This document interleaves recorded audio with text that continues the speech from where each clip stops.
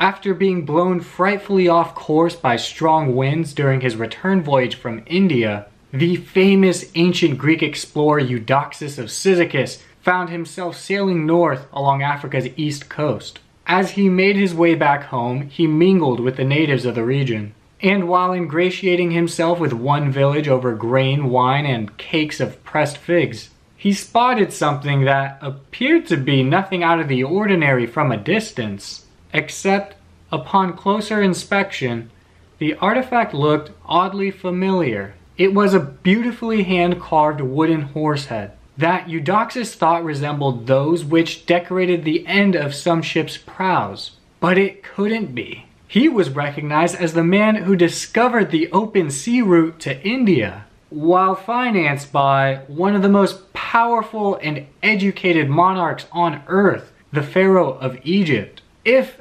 anybody, he would have at least heard rumors of an expedition that penetrated so deep into the unknown world. Nonetheless, the indigenous people confirmed his suspicions, adding, the piece belonged to a foreign ship found wrecked on their shores long ago. They believed the vessel came from the west. Eudoxus was bewildered. How could a ship of Mediterranean origin be right before his eyes? He brought the artifact home with him, and hoping somebody would recognize its origin, showcased the wooden horse head in port marketplaces throughout the Mediterranean. Many sailors felt it could be from the Spain-Morocco area, but no one has ever been able to determine how the ship got where it did.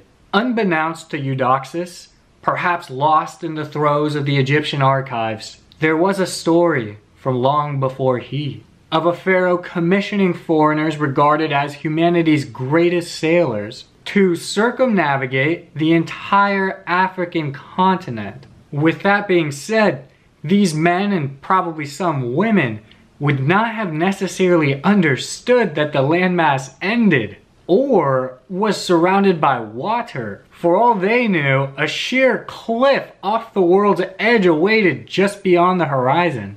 The Egyptian pharaoh, Necho II, who reigned from 609 to 595 BC, was nearing completion of his revolutionary canal linking the Nile River to the Red Sea. Moreover, he extended the Egyptian empire to the northern reaches of modern-day Syria, becoming the first pharaoh to cross the Euphrates River in nearly a thousand years. Bucking his Egyptian subjects commonly held fear of the sea, Necho II raised an elite navy that supplied his war marches along the Mediterranean coast, as well as patrolled the Red Sea. According to the ancient Greek historian Herodotus, he sent Phoenicians in ships, instructing them to sail on their return voyage past the Pillars of Heracles, until they came into the northern sea and so to Egypt. So the Phoenicians set out from the Red Sea and sailed down Africa's east coast.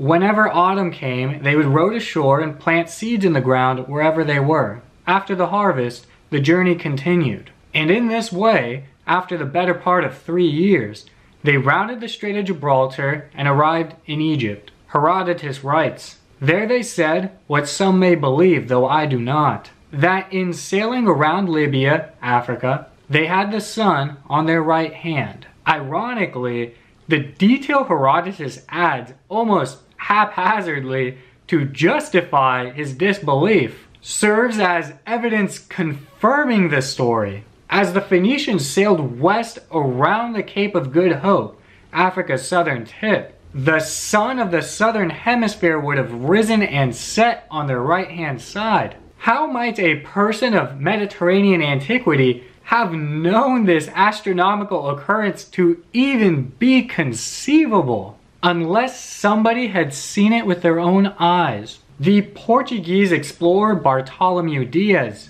is the next person credited for sailing to the end of Africa. He did so in May of 1488, over 1,000 years after the alleged Phoenician expedition. Alrighty everybody, that's gonna do it for today's video. Let me know what you think. Did ancient Phoenicians actually circumnavigate Africa? Don't forget to smash that like button and subscribe to the channel. I'll see you next time.